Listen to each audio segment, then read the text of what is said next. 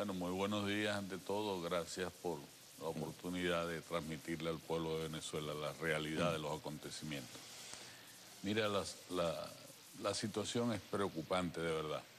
Preocupante porque de verdad es una situación seria, comprometedora y por, porque parece ser que hay apatía en el medio ambiente. Eh, bueno, tenemos dos opiniones encontradas ahorita en el orden público, ¿no? El ministro del Ambiente este, opina que es una situación desmedida, es una situación fuerte de emergencia y que sobrepasó los umbrales lógicos de, de, la tolerancia. El ministro de Agricultura dice que todo está controlado y que no hay problema. Y en realidad hay problema, porque el fallecimiento de reses es un hecho y, es notorio y preocupante porque con la escasez que hay en Venezuela y que estamos dependiendo de terceros países, debíamos preocuparnos por, por las fallas que tengamos en nuestro rebaño. Mira, cuando es riesgoso dar cifras en cuanto a número de reses, pero han comenzado a aparecer una serie de, números que son alarmantes. En el estado de Guárico han hablado de 41 mil reses muertas, en otros estados del país también comienzan a hacerse algunas reseñas. Eso es realmente dramático, ¿no? Sí, realmente cada estado eh, informa sobre el deceso y los accidentes que pueden haber. Lo que pasa es que había una desconexión entre gobierno y productores.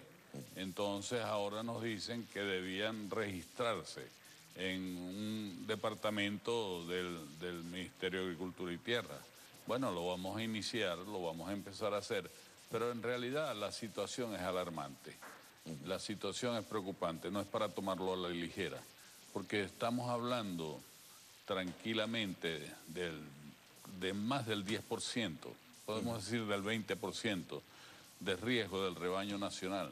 Y cuando estamos hablando del 20% del riesgo del rebaño nacional, estamos hablando de una cifra muy considerable, porque estamos hablando en el orden de los 200, 300 mil reses. Ahora, el rebaño nacional eh, en cuánto está abasteciendo el mercado nacional, porque el problema de la escasez es notable, sobre todo en el último mes y medio. ¿no? Bueno, recuerda que ya nosotros traíamos problemas y teníamos que importar el, grueso que consumíamos del exterior. Eh, ahora con este ataque del verano, esto ha sido catastrófico, porque no tiene, casi no hay oferta. ¿Qué podemos hablar de oferta? menos la décima parte de la demanda nacional. O sea que si tú te pones a ver, la situación es crítica, es de alto riesgo. ¿Por qué?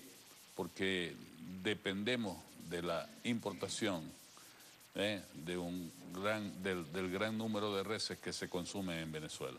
Yo, es una situación a lo que le tienes que sumar por ejemplo, una denuncia que salió la semana pasada de un sobreprecio del 60% en la compra de carne a Brasil al parecer supuesto presuntamente con el aval del Ministerio de Alimentación. Eso es terrible, además. Sí, son situaciones que uno de verdad como venezolano no entiende, porque tú ves eso, pero entonces al llegar a Venezuela, tú ves que hay un diferencial muy grande entre la carne importada y la nacional.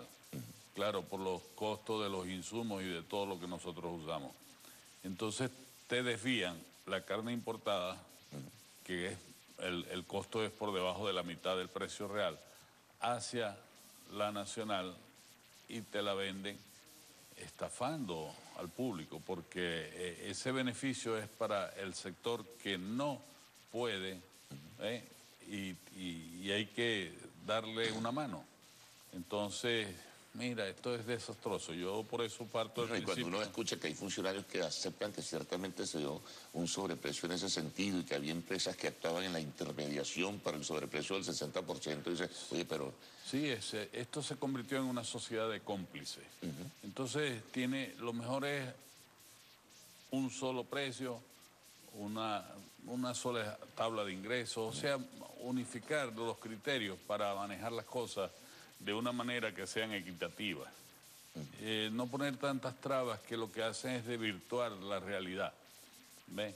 Entonces siempre, como decimos en el campo, se saltan la talanquera y, se van a lo ilegal, porque la gente anda buscando es dinero y dinero y dinero. Ahora, Eh, si hay conciencia en algunos funcionarios en ese sentido, como mismo has dicho, que la situación de la sequía, el Ministerio del Ambiente la aprecia de una manera clara y dramática, el Ministerio de Agricultura dice que no. ¿Cómo ser compatibles entonces los puntos de vista si son contradictorios? Oye, de verdad que eso va en la percepción de cada quien. Yo digo que hay que eh, pedir un voto de conciencia y de verdad, de verdad, hacer algo por este país que lo está clamando y lo está necesitando, lo está pidiendo a gritos. Ahora, ¿qué va a ocurrir? El abastecimiento nacional en términos generales, con lo que aporte el rebaño nacional y lo que se de, de importación. O sea, no hay posibilidades de abastecer el mercado. No, no hay posibilidades. La única manera es seguir importando. Menos mal que conseguimos un proveedor confiable que es Brasil. Eh, pero ¿hasta cuándo? Sí. No, y con sobreprecio, imagínate. No, no, no, es impresionante. Ahora, el caso de la leche también. ¿Pudieras hablarnos cuál es la situación en este momento? La situación de la leche es terrible, es crítica.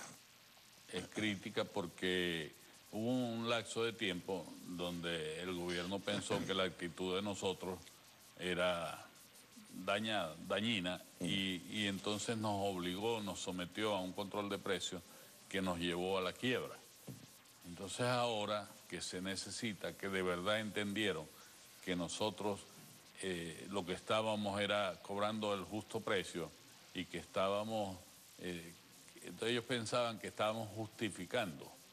Bueno, no fue así, entonces ahora nos encontramos en el país donde ha habido una migración de ganado, donde, bueno, ha habido una decepción total en la producción, donde de un momento a otro hubo que soltar esos precios y dejarlos, pero no tenemos producción.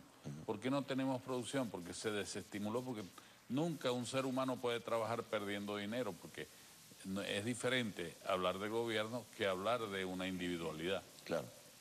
Ahora, en ese sentido, por ejemplo, en el discurso oficial es eh, reiterado eh, o reiterada la exhortación a que hay que animar o reanimar la actividad productiva venezolana. Ustedes que trabajan en el campo mm, venezolano, ¿sienten que ha habido algún estímulo para reactivar la actividad?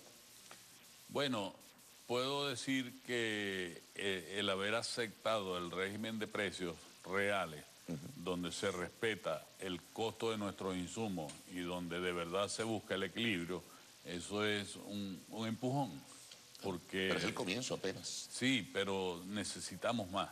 Necesitamos algo eh, planificado y, una estrategia que vaya en función del productor. No solamente con pañitos de agua caliente se va, se va a curar, se va a aliviar. Claro, en el orden de jerarquía, ¿qué es lo que necesita el campo venezolano en este momento para comenzar un proceso de reactivación? Necesitamos eh, la verdad, poner los pies sobre la tierra, eliminar toda esa cuestión de, subsidios y de disimulación de precios. no, no, vamos a enfrentar la realidad. Vamos a, pararnos sobre la tierra y vamos a ver los costos reales, verdaderos y someter al, grueso de la población a la realidad. Que no podemos vivir en un país, en Alicia en el país de las maravillas. Ya Venezuela, Venezuela tiene que, poner los pies sobre la tierra, un país donde las reservas están agotadas, un país donde, donde tenemos una devaluación constante, un país donde eh, el, el, esfuerzo del trabajo ha mermado, sobre todo por este, incitación del mismo Estado. Imagínate nosotros el grave problema, sábado y domingo libres y entonces las vacas, ¿cómo así? Tú, eh, este, una vaca productora, tú no, no cumples con el ordeño riguroso, eh, se te va a enfermar de mastitis. Claro. Entonces, Mira, son tantas cosas que no, y hay el problema de la inseguridad en el campo. La inseguridad es, terrible, todo, todo, todo. El, la frontera vulnerable que tenemos donde ahora Colombia eh, tiene hegemonía sobre el, valor de la moneda.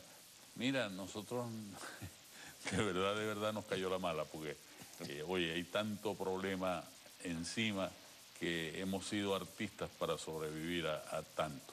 Bueno, definitivamente es un drama, tú mismo lo calificaste así, y es ciertamente por la descripción que realiza, es un drama lo que vive el, el campo venezolano. Bueno, Rubén Darío, te agradezco mucho toda la información que diste a nuestros televidentes y bueno,